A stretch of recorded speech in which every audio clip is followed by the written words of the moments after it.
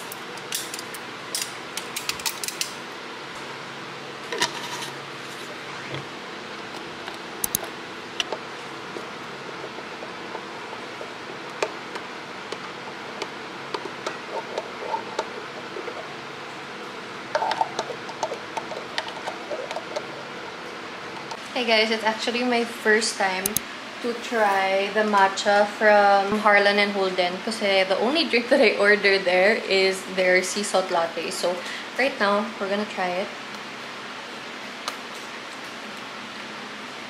Sarap. It's good if you like matcha na natitaste mo talaga yung tea or like yung parang pagka medyo may parang hindi naman super bitter na aftertaste pero medyo merong ganun. But it's good I like it. We're not gonna have brunch kasi it's pretty late. Okay guys so we have some salmon. So naisip ko I wanted to do the TikTok parang recipe that a lot of people are doing. It's just rice and salmon and nori. They put mayo on it. I've been doing it na din for a while. It's actually a really good combination the sriracha and mayo taste really good. It's kind of like sushi baked na, parang ganun. Pero hindi lang siya na-bake. But it's really good. Yan. Putting rice. And then, I'm gonna put the sriracha. Depends on how much you like. So, ginaganyan ko lang. We put QP mayo.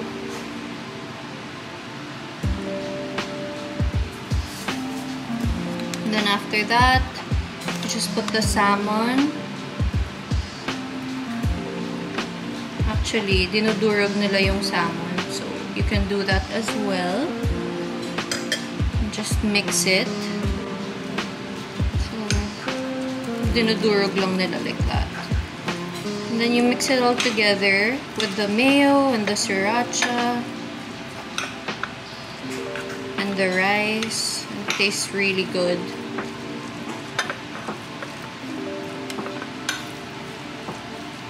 Very filling.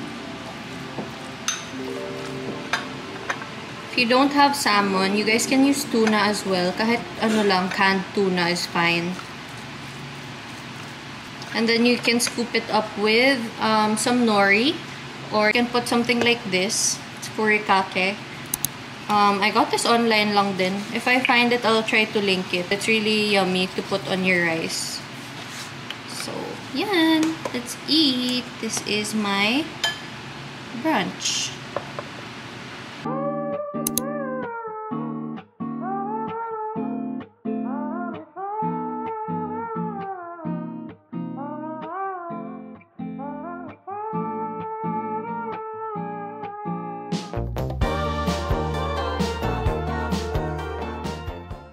Okay guys, so ref is here.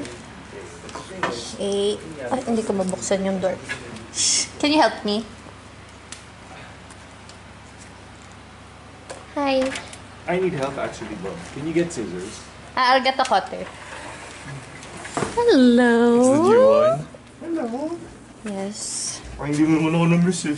Miss kaya kita. Hindi mo ko na-miss. Miss kita. You're gonna show them too? I'm gonna show you, but I wore it na kanina. Oh, I, I, need, showed them. na. Yes, I'll get, I'll get. Look, we're wearing our matching...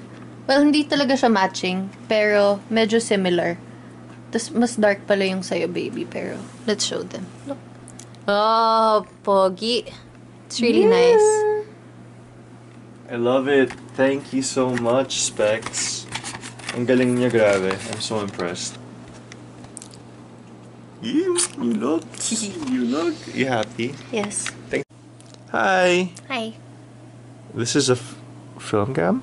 No. No, video cam? Yeah. From the 1975. Grabe. 1970s. It's a handy cam. Joke lang. This is pretty modern. That's why it's so clear. Ang ganda nga ng zoom effect niya, oh. Babe, ang linaw. Babe, ang linaw. Pero do you see the ano? Can I see myself here? I can. Oh, you can see yourself. Honestly, babe, I can barely see the green. Oh, but it's still cute. Whatever. you know why? No, it's great.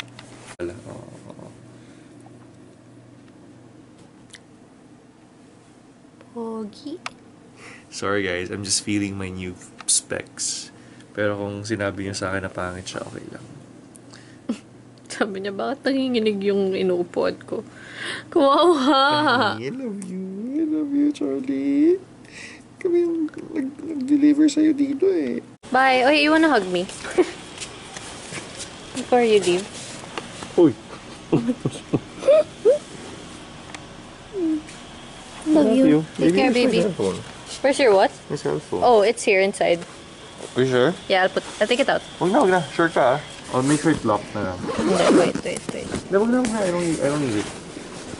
Yeah, it's just here. Okay. It's locked. I'll put it inside the flap. Ayan guys ha, nandyan yung phone niya. Baka sabihin niya sa akin.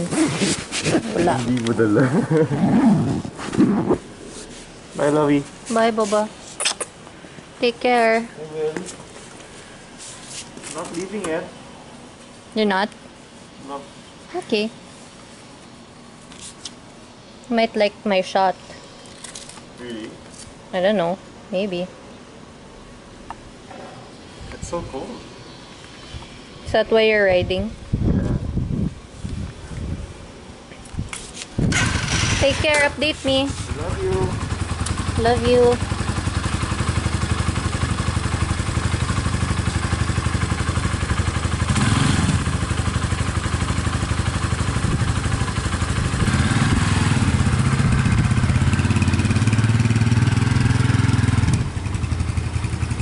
Bye. Put down your thing. No? Okay. Love you. Bye. Hey guys, I'm back in my room and every day I make it a point to journal kahit super late na ako makauwi or what. I've been trying my best to be consistent and I'm so happy with it. It parang helps me be more creative kasi when designing and all. Tapos it just gives me something to do that makes me more mindful and more grateful kasi I also have like parang journal prompts na parang what I'm grateful for and then um, a lesson learned for today, mga ganon. So it's really nice. I suggest you guys journal as well if you guys don't. I have been um, using my iPad. Sobrang, sobrang, sobrang love ko mag-journal dito. And hindi ko naman ma-share sa inyo kasi syempre, some of the things that I put um, are private. But, wait, I'll check my journal prompt today. Parang, wala pa naman ako masyadong super personal na nilalagay. So, pwede. Wait. So, ganyan yung design niya. When you start, it's just like this. And then ako nag-design nito. You guys can get elements online. You guys can make your own. You can draw. You can color it. Ganyan. Um, this is what I did yesterday. So, I get to fill it up. I put what I'm grateful for. And then my priorities. And then the rest of your to-do list. And then some of photos lang to remind me of what happened throughout the day. Kasi yesterday was my first day getting this camera. So, I put that. And then I put a daily affirmation. It's really nice. It reminds you of just, I don't know, it just makes you feel good. So I like doing that. And then a little what I learned today. And then some notes or like things that you need to put, uh, you need to do tomorrow, ganyan. And then some other photos lang. But it's really, really fun. I super enjoy it. Ganyan, no, na, na-design ko siya by, by myself. This one is on GoodNotes lang. And I bought this journal online. Um, I paid $17 for it. But yeah, super sulit niya. Ganyan lang yung layout niya. Pero meron din naman mga free guys na pwede niyong mahanap online. You can check on YouTube or Pinterest. They have free journal prompts as well. And actually, since meron nga akong mga to-do list, I've done most of them. Like, get the um, frames for today um, sa Quiapo, which I got from um, Specs. And then, may isa akong pinuput off for the longest time and that's to declutter more clothes. I already did, but I still have to do more. Sabi ni mommy, like, mag, ano na ako, magbawas daw ako ng clothes to welcome more clothes since it's the new year. So, that's what I'm gonna do today. Magtatanggal ako. I might not be able to vlog it siguro. Kasi sobrang gulo. I'll show you na lang later. But anyways, I will see you guys later again. Oh, and also pala guys, um, I've been reading, di ba? Natapos ko na yung book po kanina, which was by Mariana Zapata. And ano lang yun, love story, mga kilig-kilig. But anyways, right now, I'm on to the next one. And this is a self-help book. And it's the um, book called Atomic Habits. So, ayan, I'm starting pa lang. Surpri- the Surprising Power of Atomic Habits. So, these are little habits that I've been forming then like reading and journaling and I think if I keep it up it's really gonna be super helpful sa akin like in the long run. So I hope I get to keep doing it and I stay consistent. Also since it's the new year what are your guys's resolutions or things that you promised yourself you would do or the things you've been doing differently this year? Let me know. Might be able to pick up a few good things from you guys as well so yun lang. Share it with me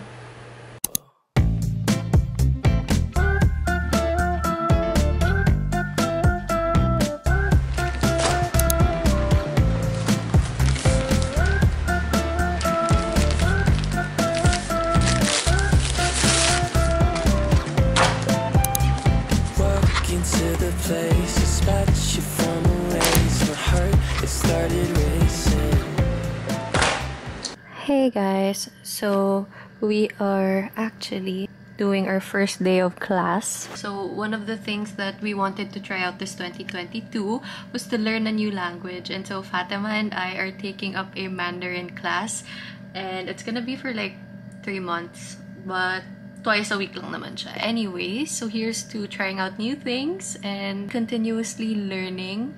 Um, sana talaga may matutunan kami. I'm ready. Uh, I have my laptop and then I have my iPad so that I can take notes as well. Buhay estudyante ulit tayo. Crowd across the way, was on your face, and then I'm from the 80s. Someone keeps blocking my way. I can't feel farther away.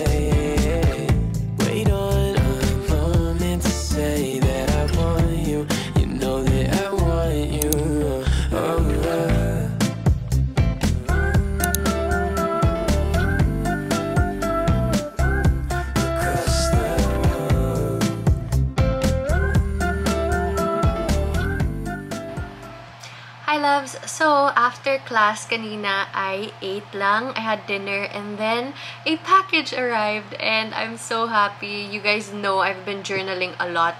So, I've been trying to be super consistent and so far, ever since I started, I haven't skipped a day. So, I'm very, very proud of myself. So, maybe it's me forming a little habit and since I'm reading Atomic Habits, medyo parang I'm trying to form good habits to improve like myself and like my goals and everything. Anyway, since I've been journaling nga, I've been using my iPad a lot. So, sobrang na-maximize ko talaga yung use for it. I mean, before pa naman, like with editing and all, like, yun talaga yung nagagamit ko nga. And then now, parang I kind of get to use it as a notebook as well um, for all my notes and my to-do list and my journal prompts and everything. And I'm so lucky, guys. I got a gift and it's from Apple Cart. Guys, sobrang bilis talaga nila kausap.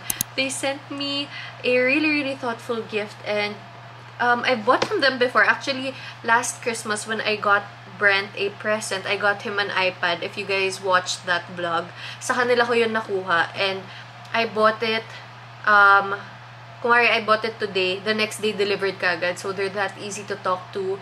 Um, all of their stocks are usually on hand. So super fast talaga to talk to them and buy from them. And guaranteed naman na safe talaga and they're very trustworthy. So I'm super grateful they sent this over. Thank you so much Apple Cart. If you guys have any any needs for like um, Apple products, just check them out. It is at Apple Cart PH on Instagram. Um, anyways, I actually unboxed this already and I made a TikTok. So if you guys don't follow me on TikTok, it's at Ashley Sandrine. Um, but anyways, guys, look. They gave me the iPad mini and this one is the 256 GB 6th generation iPad mini. And ayan. Those are the details and then this is the box. Um, they also paired it with an Apple Pencil. So, super perfect. If you guys are thinking of getting an iPad, sobrang perfect siya with the pencil because you get to take notes, you get to write, and all. You get to maximize it talaga. I bought a case already. As in, um, nagmadali ako to buy kasi I knew it was arriving today. And so, I bought one muna from Facebook Marketplace. Pero bumili din ako from Lazada. So, I'm waiting for that. And I also bought a paper-like screen protector kasi it's different. It feels really different with the paper-like screen protector. Parang I feel like I get to write a lot better and mas madali siya gamitin for like journaling. So, this, wait, let me show you what it looks like without the case. Look at how big it is. Ganito lang siya. Parang, parang notebook lang talaga siya. Um, let's get a notebook. Normal sized notebook. It's almost the same size. Ayan, mas maliit pa nga siya eh. Ganyan. And then, I got the purple one. I really like pink. I really like purple as well. So, those are like my favorite colors. And look at this. It's actually a very muted purple, pero it's so, so cute. I love their color options. They have a pink, a purple. I think they have a, I'm not sure if they have a green one, but they also have a silver one, I think. But anyways, I was choosing between the pink and the purple. I ended up going for the purple. And to match it, I got a case that's purple as well. And as I mentioned, I got this from Facebook Marketplace from a random seller. Um, ayan. So, it's a folio case. And then, while your Apple Pencil is here, it still protects it and it closes like that. And look at how adorable that is. This is what it looks like at the back. So, anyways, I'm super happy lang. And also, I'm reading the book nga called Atomic Habits. So, ang dami ko natututunan about it and I really, really want to um, make a lot of better choices and good habits this year. So, I hope you guys are making the most out of your 2022 as well. I'll try to insert the unboxing of the iPad mini here.